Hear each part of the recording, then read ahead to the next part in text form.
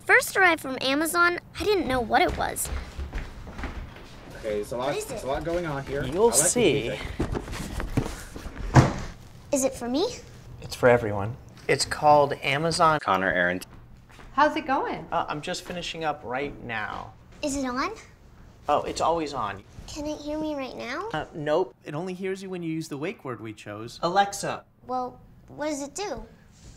Alexa, what do you do? I basically redid my whole floor. I want to beat Jawbreaker, which is the next Nine Circles level. Awesome. Alexa, play rock music. Alexa, stop. Wait, I want to try.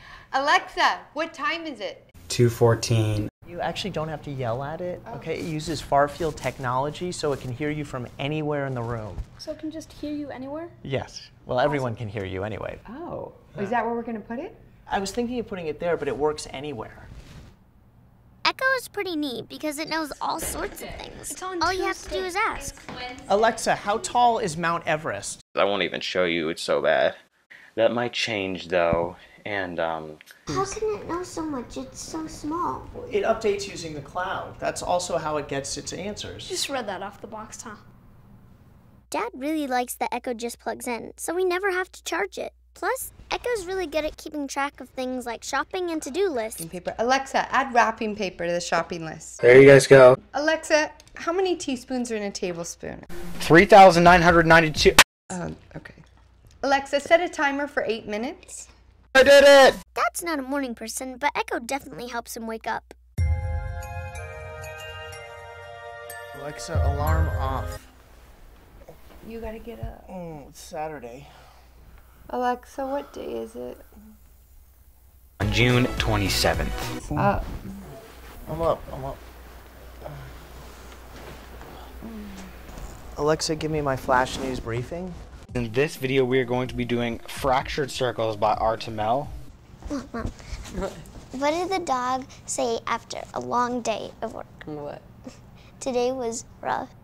Get it? Get it? Yeah, I get Another one. Alexa, tell me another joke. It's not exactly a general store anymore because the shopkeeper's dead. Sometimes Echo helps out when you least expect it. Uh, hey, Dad, how do you spell cantaloupe? Uh, cantaloupe. C A N T. Alexa, how do you spell cantaloupe? um, I'm not quite sure. Echo loves to play music and knows a lot of songs, and they always sound great. Alexa, play my dance mix. Alexa, stop. Alexa, define annoying. So this part right here at the beginning is kind of annoying and difficult. Example, my brother. And with the companion app, you can access Echo from anywhere.